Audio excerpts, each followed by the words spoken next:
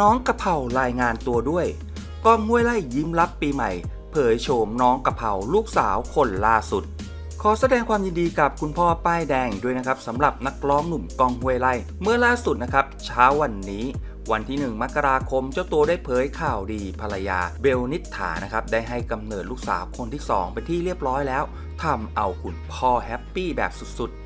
โดยหนุ่มก้องได้เผยภาพลูกสาวคนที่ 2 น้องกะเพราพร้อมระบุแคปชั่นข้อความว่า ยินดีต้อนรับเด็กหญิง ฐานิตา ยอดจำปาวงเล็บกระเพราสู่โลกที่สวยงามแห่งนี้พ่อได้พยายามจัดสรรโลกใบนี้ไว้รอหนูแล้วนะ แต่ไม่รู้จะเพียงพอกับหนูหรือเปล่า ที่เหลือก็อยู่ที่หนูจะไขว่คว้าและเติบโตด้วยตัวเองของหนูเองนะ แต่ไม่ต้องกลัวจะโดดเดี่ยว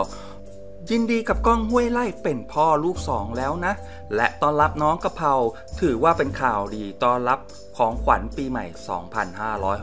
2564 มีความคิดเห็นอย่างไรอย่าลืมมาคอมเมนต์ที่ใต้คลิปก่อนจบคลิปอย่าลืมกดติดตาม และกดกระดิ่งจะได้ไม่พลาดข่าวสารอัปเดตกัน